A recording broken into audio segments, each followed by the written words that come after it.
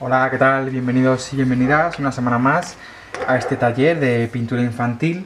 Vamos a continuar con el acrílico y en esta ocasión vamos a hacer un dibujo tipo low poly.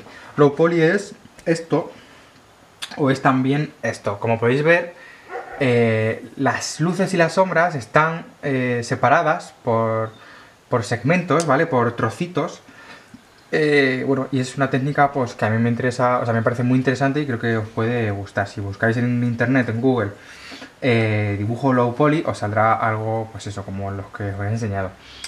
Entonces, bueno, pues como siempre, cogemos un, vamos a coger un papel eh, de estos que son gruesos, vamos a calcar nuestro diseño, em, si queréis, y si no, pues dibujarlo directamente sobre ese papel vamos a añadirle una capa de, si queréis, esto si queréis, una capa de blanco a toda la superficie para eh, dejarla secar y luego pintar por encima. Esto sirve para eh, que nos quede mucho más bonito el diseño eh, y ya pues empecemos a aplicar los colores. O sea, mm, aplicamos una capa de blanco, dejamos secar, si queréis, y luego pues nada, empezamos a dibujarlo pues por, por colores. No sé, yo empiezo a lo mejor por los más claros, pues cojo los verdes más claros y a lo mejor es este triángulo, este triángulo, este triángulo, y este triángulo y este cuadrado. Pues nada, cojo esos, les doy con el mismo color y luego vuelvo a hacer otro, o sea, cojo eh, ese mismo color, lo, oscurezco y cojo otros cuatro cuadrados, lo oscurezco un poco más y pinto otros tres cuadrados.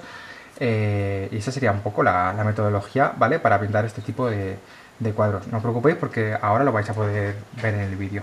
Espero que os guste y eh, cualquier duda pues la resolvemos en clase. Venga, chao.